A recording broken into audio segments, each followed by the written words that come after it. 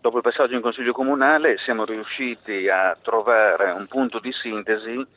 per il quale eh, possono riprendere i, i, lavori di ristrutturazione dell'area complessivamente, il che dovrebbe consentire di valorizzare un comparto eh, estremamente delicato che eh, è rimasto fermo per troppo tempo, eh, che ha condotto numerose attività commerciali a trovare sistemazione nel comparto, eh, ma il progetto complessivo che caratterizzava il progetto iniziale eh, non ha mai avuto completamento. Con eh, la faticosa opera di mediazione che è stata condotta in questi anni, eh, che ci ha portato inevitabilmente a rinunciare a qualcosa, in nome però di un obiettivo che crediamo sia predominante, siamo riusciti ad ottenere dal Consiglio Comunale un'approvazione che consentirà di riprendere i lavori,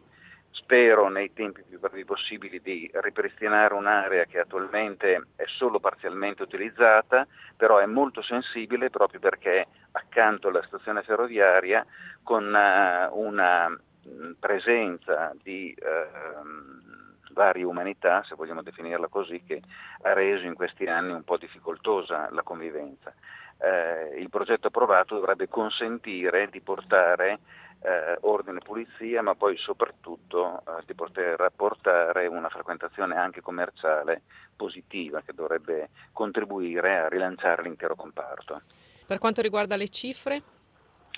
Eh, sulle cifre eh, abbiamo un complesso lavoro di eh, compensazione sostanzialmente eh, riguardo anche ad alcune partite che sono rimaste sospese. Ehm, adesso la descrizione risulta un po' complessa, mm, problematica. Diciamo che ehm, con una spesa di circa 2.300.000 euro eh, che risulterebbero peraltro ehm, incassate attraverso opere eh, di eh, cessione che sono collegate al comparto, eh, noi dovremmo essere in grado di coprire totalmente il, i lavori di recupero. Questa è la parte in capo eh, al, um,